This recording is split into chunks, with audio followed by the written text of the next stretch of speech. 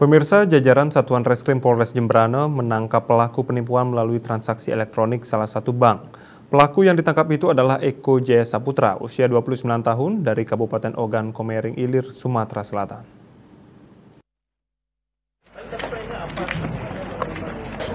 Kapolres Jembrana AKBP Dewa Gede Juliana bersama Kasat Reskrim Polres Jembrana AKP Andro Yuan Elim dan Kasih Humas Polres Jembrana Ibtu Imade Astawa Astiawan mengatakan pelaku ditangkap karena ada laporan dari korban Hendri Asalim, seorang pengusaha dari Banjar Tengah, Kecamatan Negara, yang merupakan nasabah Bank Plat Merah. Pelaku ditangkap di tempat asalnya berkat hasil koordinasi dengan pihak terkait lainnya. Pelaku melakukan aksinya dengan modus mencari resume dan password mobile banking korban dengan cara mencoba-coba dan diacak. Setelah mendapatkan, kemudian tersangka meminta kode OTP yang telah terkirim ke korban melalui pesan atau telepon WhatsApp. Setelah kode OTP tersebut diterima oleh tersangka, maka tersangka dengan leluasa menguras isi rekening korban.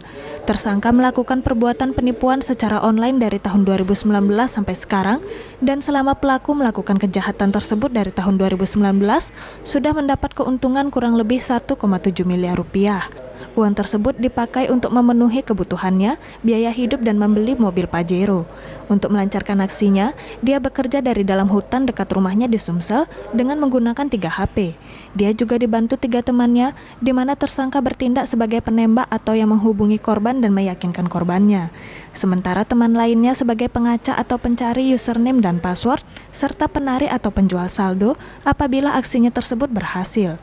Tiga temannya kini masih diburu polisi.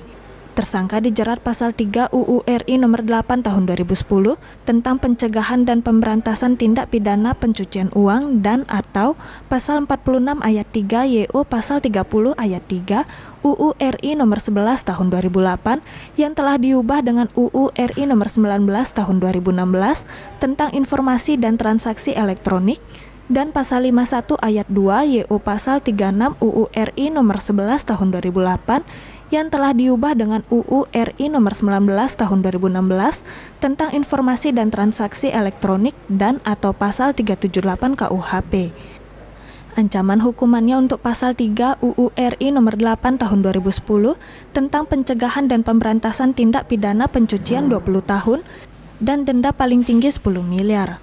Pasal 46 ayat 3 YO pasal 30 ayat 3 UU RI nomor 11 tahun 2008 yang telah diubah dengan UU RI nomor 19 tahun 2016 tentang informasi dan transaksi elektronik tentang informasi dan transaksi elektronik dengan pidana penjara paling lama 8 tahun dan atau denda paling banyak 800 juta rupiah. Pasal 51 ayat 2 YO Pasal 36 UU RI nomor 11 tahun 2008 yang telah diubah dengan UU RI nomor 19 tahun 2016 dengan pidana penjara paling lama 12 tahun dan atau denda paling banyak 12 miliar rupiah Pasal 378 KUHP dengan pidana penjara 4 tahun. Uh, baik, uh, pada hari ini kita akan uh, menginformasikan kepada awak media dan seluruh masyarakat bahwa Polres Jembrana melakukan pengungkapan terkait dengan uh, kasus penipuan melalui transaksi elektronik. Ini yang sering terjadi uh, di masyarakat. Di Denpos melaporkan.